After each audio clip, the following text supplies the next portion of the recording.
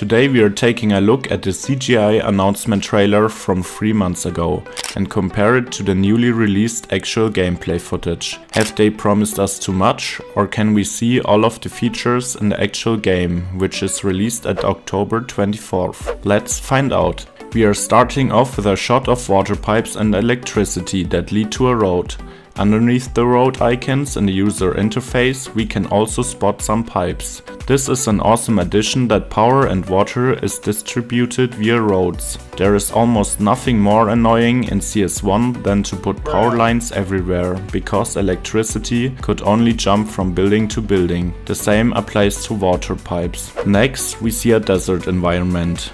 We can't tell much about that one because we've only seen a temperate map theme for now. With 441 tiles, that means 21 by 21. The maps are really big though and could allow for a lot of different biomes on the same map maybe. We will see.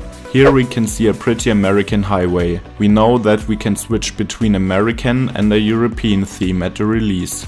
Maybe there will be added some more in the future, for example one from Japan or South America. The icons for the themes are in the UI, so I wonder if we can switch them back and forth right inside the game itself. The buildings and roads look through and through American though, but the highways don't have any yellow stripes. Very important detail, I know. Bridge construction doesn't sadly work like that. Instead we are able to drag a bridge again, and it's immediately built up. Personally, I have nothing against that to be honest, but it seems like the bridge building mechanic isn't hopefully attached to the terrain anymore. That sucks so hard in CS1 and makes building bridges a real pain. Road building has definitely a lot of great features and that is probably the thing I'm most excited about.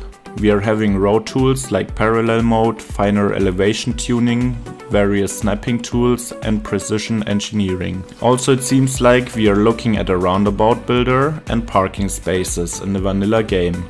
We can finally build the American dream right off the start. God bless America! Yes, the roundabout, my favorite shot of the trailer.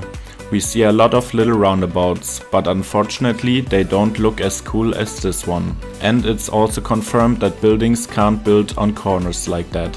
Instead we have a tile-based building spawn system again that even has tile cutouts at the roundabouts. Very sad. The streets look very detailed here, but I don't think they will have that much detail in the actual game.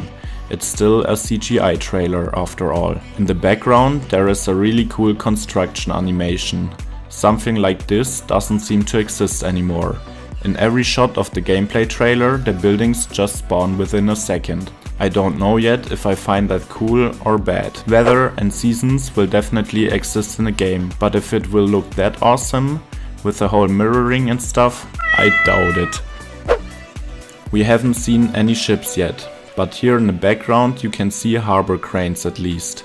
They look quite cool and the harbor seems to have a much more reasonable size with a huge container yard attached to it, like in real life. I also hope harbors will act in a more realistic manner than in CS1, but probably we have to wait for the Bridges and Ports add-on, which will be released in Q2 in 2024. So be prepared to spend a lot of money on extra DLC content again. Money! Pull at him!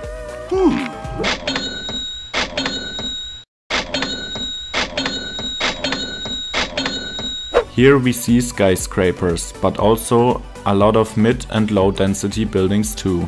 For residential at least, there are 6 different zoning types. And let me tell you, I'm extremely hyped for that. At first we have single family homes, then some sort of row houses, we also see a lot of them in the trailer, and then follow low-rise apartment blocks. Bro, I just realized, when you look closer, the fourth one is a mixed-use building with commercial shops at the bottom and apartments at the top. Like what the fuck, this is so awesome.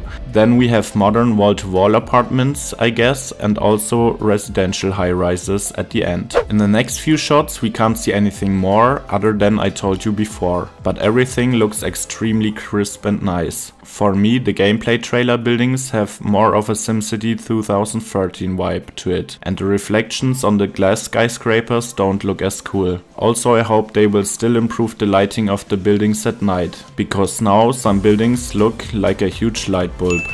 The water also looks a bit low res compared to the CGI trailer. But it's okay, as long as it doesn't behave like jelly pudding, I'm fine with it, I guess.